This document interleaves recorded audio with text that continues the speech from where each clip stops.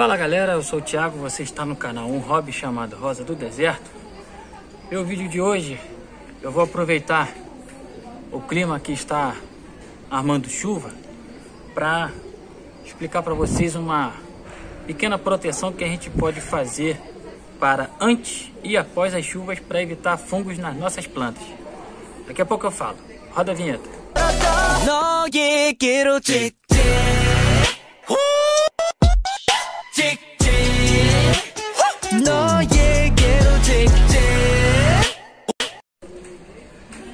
Galera, você já ouviu falar aí em peróxido de hidrogênio 3%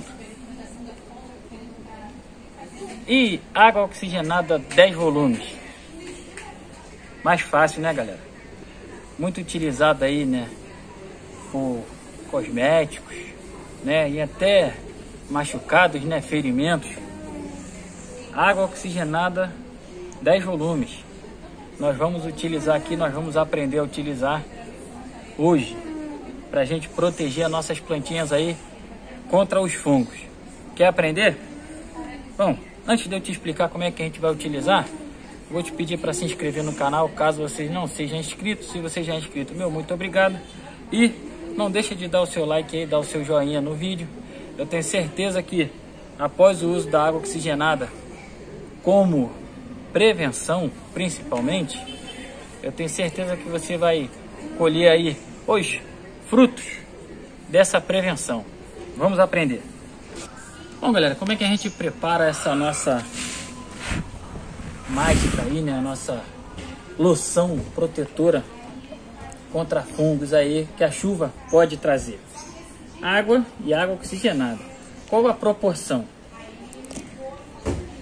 4 colheres de sopa de água oxigenada para cada litro de água.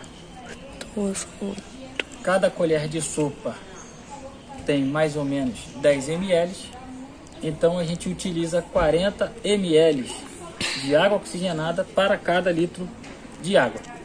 Como aqui nós temos 2 litros de água, nós vamos utilizar dos 100 ml que vem aqui, nós vamos utilizar 80 ml. Bom, galera, para a gente evitar o desperdício, né, o que, que a gente sempre utiliza? Um, pe um pequeno funil. E como aqui nesse frasco nós temos 100 ml, para eu não ficar contando colher a colher, o que que eu vou fazer? Eu vou tirar duas colheres daqui, eu vou colocar em um copinho, uma, obviamente que isso aqui depois eu vou utilizar em outra planta, duas, Tirei 20 ml, aquela continha básica. O restante dos 80 ml eu vou jogar aqui dentro.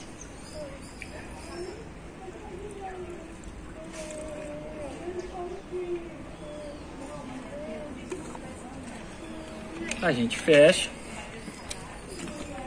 dá aquela agitada, né? Para a gente procurar fazer uma mistura o mais homogênea possível.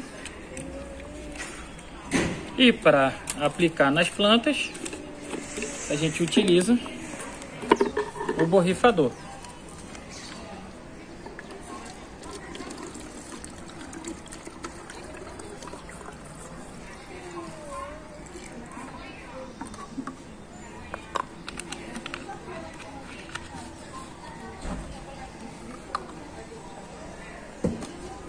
Borrifador cheio. Como é que a gente vai aplicar? Vem comigo. Bom, galera, como é que a gente faz a aplicação aí nas nossas rosas do deserto? Ela é bem parecida com água sanitária. Não sei se você lembra, eu vou botar o link, vai aparecer aqui em cima para você, o link da água sanitária. Mas olha aqui como é que a gente aplica, ó. Com o uso do borrifador, a gente borrifa em toda a nossa plantinha. Folhas, para a gente evitar algumas praguinhas, alguns fungos nas folhas, nos galhos, nas raízes e nas folhas.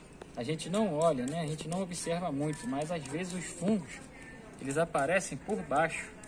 Então o que, é que a gente faz? A gente aplica também na parte de baixo das nossas folhas, galera. E aplica em todas elas, sem moderação, aplica bastante. Tá legal, galera? E um detalhe importante, muito importante que a gente não pode esquecer. Vai chover, nós estamos já com o sol coberto.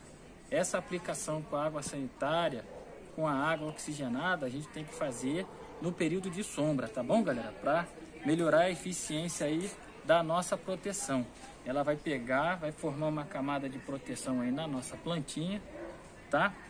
Para evitar que apareçam fungos indesejados aí, indesejáveis na nossa plantinha. Mais uma vez, galera, não deixa de dar o seu like aí não. E se você é novo por aqui, não deixe de se inscrever no canal. Procuro toda semana aí trazer um conteúdo diferente, galera. Um abraço e até a próxima.